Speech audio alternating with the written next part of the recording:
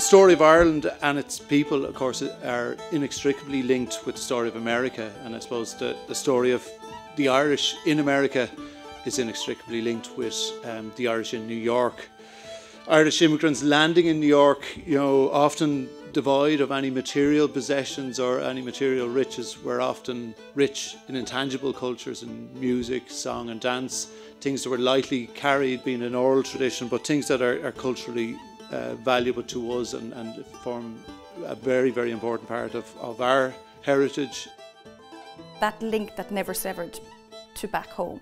These recordings are part of the music tradition, but they're also part of the story of the Irish in Ireland and the Irish diaspora abroad, the, the story of immigration, the story of people having to go abroad because of necessity. It's that social history at the core of our tradition that I think is so clearly evident in this, in this digital exhibition.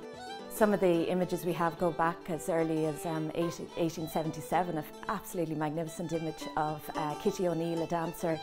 Um, her, just her expression in the photograph is, is just really striking. All too often, photos, manuscripts, recordings have been lost or forgotten. Through this project, the ITMA have encouraged the excavation of personal collections of photos, manuscripts and recordings and have digitised the shared cherished collections, thereby providing an accessible record of our rich Irish musical history.